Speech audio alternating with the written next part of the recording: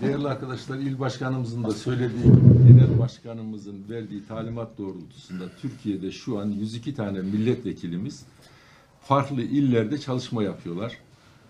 Bu çalışmamızın amacı vatandaşın sorunlarını birebir dinlemek, vatandaşın çözüm yollarını birebir anlatmak, STK'larla, kuruluşlarla hepsiyle beraber nedir, bizim Cumhuriyet Halk Partisi hakkındaki düşünceler nedir, bizim çözüm önerilerimiz nedir, onlarla karşılıklı alışverişte bulunmak üzere biz de Ayhan Vekilimle beraber Nevşehir'de görevlendirildik.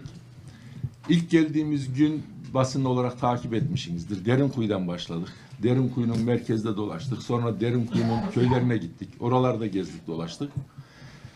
Pazar yerine gittik. Pazar yerindeki esnafla konuştuk. Pazar yerindeki pazara alışveriş için gelen arkadaşlarımızla konuştuk. Orada gördüğümüz tablo şu. Vatandaş artık bu iktidar bir gün önce gitsin istiyor.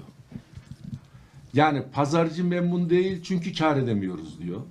Vatandaş memnun değil cebimizde para kalmadı alışveriş yapamıyoruz diyor.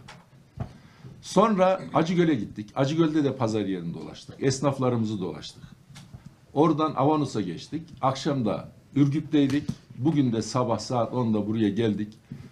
Değişik odaları ziyaret ettik. Buradan da Gülşehir'e gideceğiz. Şimdi bizim her gittiğimiz yerde vatandaşın ciddi sıkıntıların olduğunu gördük. Bize sorulan soru şu. Sıkıntıların olduğunu biliyoruz. Ülkenin zor yönet zor durumlar olduğunu biliyoruz. Kötü yönetildiğini biliyoruz. Ama iktidara geldiğinizde siz ne yapacaksınız sorusuyla karşılaşıyoruz.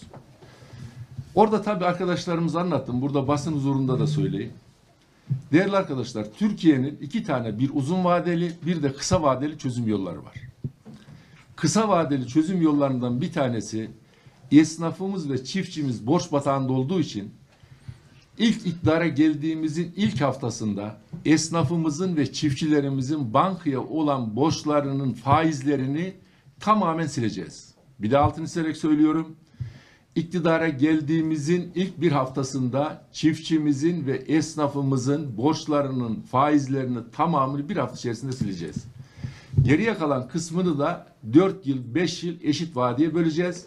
Değerli arkadaşlar, bir insan niye borcunu ödemesin? Elinde olmadığı için borcunu ödeyemez. Eğer siz bu insana bir de faiz üstüne faiz, faiz üstüne faiz bindirirseniz bir o parayı tahsil edemezsiniz. İki, o insanları ürettiremez hale getirirsiniz. Şimdi borçlu adam Ziraat Bankası'ndan kredi çekemez. Borçlu adam gidip gübresini satın alamaz, ilacını satın alamaz. Birinci ilk etapta yapacağımız işlerden bir tanesi bu. Diğeri de arkadaşlar 2002 yılında AK Parti iktidara geldiğinde Türkiye Cumhuriyeti Devleti'nin 125 milyar dolar borcu vardı. Bugünkü geldiğimiz aşamada Türkiye Cumhuriyeti Devleti'nin 475 milyar dolar borcu var. Ben milletvekili adaylığımda hep şunu söylüyordum. Ya bu dö- dolar artacak, döviz artacak aman yapmayın etmeyin bu iktidarı yeniden iktidar, parti yeniden iktidar yapmayın diye. Buradaki iyi niyetli bir yeğen kardeşim, berber kardeşimin hatırlar mısınız? Camlarına yazdı. Dolarını bozduranlara bedava tıraş diye. Ne oldu dolar? 4 liradan şimdi dolar oldu o yaklaşık 17 liraya yaklaştı. Bunun nedeni şu arkadaşlar. Borç aldınız, borç aldınız. Onu üretim yerine tüketim ekonomisine, tüketim ekonomisine, tüketim ekonomisine bu sefer borç aldığınız şahıslar dediler ki getirin şu paraları bize. Elinizde ödeyecek paranız yok. Bu sefer yeniden borç almaya istediniz.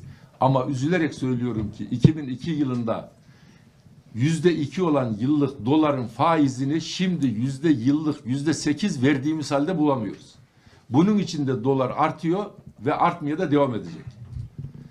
Şimdi yine bir kısa va- orta vadede bir çözüm yollarından bir tanesi de Nevşehir bölgemizde güneş enerjisinden en iyi şekilde kullanılacak bir bölgede yaşıyoruz. Bizim iktidarımızda göreceksiniz Allah'ın verdiği bu güneş enerjisinden en kısa zamanda yararlandıracağız ve bunu da çiftçiye bedava vereceğiz. Yani çiftçiye şimdi bir maliyeti buradakinin sadece güneş enerjisinde kurulum maliyeti var. Onun dışında hiçbir maliyeti yok. Genel başkanımız bunu ilk söylediğinde Urfa'da söyledi. Hatırlar mısınız? Ya biraz kendi akıllarınca işte olur mu olmaz mı falan demeye başladılar. Ama şimdi onlar da gördü. Bir yıl belediyemizde bu işe başladı.